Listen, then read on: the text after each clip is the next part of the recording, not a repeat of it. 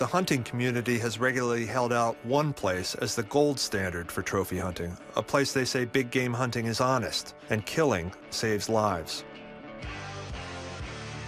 I set my coordinates for southern Zimbabwe, the same country where Cecil was shot and killed not long ago.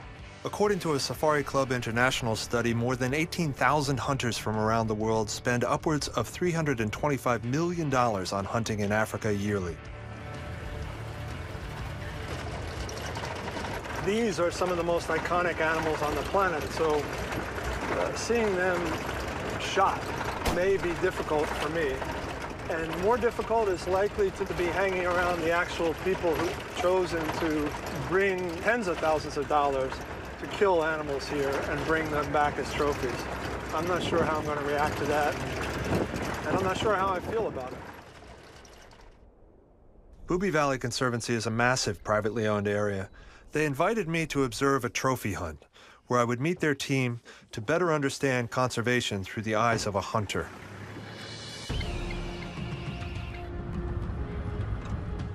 At Bubye Valley, trophy hunters have a menu of animals to choose from. The price for a zebra or giraffe hunt is approximately $8,000. A Cape buffalo hunt runs $20,000. A leopard hunt can cost as much as $28,000. And a lion hunt costs $100,000 per cat. It is because of this money that outfits like Bubye Valley claim they pay back into a conservation system. What are we looking for? Came here primarily for, for Cape buffalo and eland and kudu. Mm -hmm. What made you choose those three? And then I just got out of the Marine Corps. It's about 33 years old and saw out of Africa and, and the big Cape buffalo herds that they had, and I looked yeah. at those. So it's been a long pursuit. I mean, my God, half my life, huh. and I'm finally here. There's a lot of lions in this area. Okay. Okay, so you want to take a leak or anything like that, don't go wandering off. you don't have to warn me twice. Mm -hmm. It's way too many. You know, we've offered to send 200 lions anywhere in the hmm. world. You know, hmm. just anybody wants them. Yeah, that's they amazing. just pay for transport. We'll give them. Hmm. And they're no takers. But BVC clearly didn't do all they could to find a home for the lions. They gave an interview for a British newspaper and sent out a couple of emails, but I can't conclude their outreach was exhaustive. Lundy Leathem, general manager of Bubye Valley, thinks about conservation in different terms land. How much land do you have?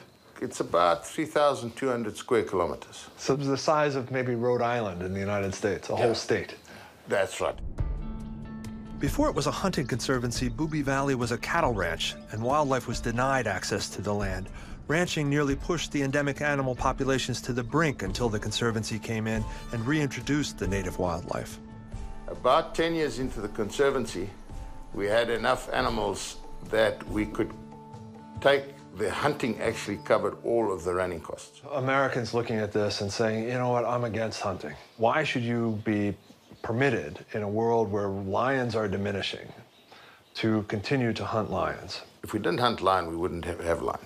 You've got 850,000 acres dedicated to wildlife. One of the highest lion densities, it is funded by hunting. You take away the hunting, there is no alternative way of funding an operation this size it would have to revert back to cattle. Then it will be more vulnerable for resettlement. Hmm.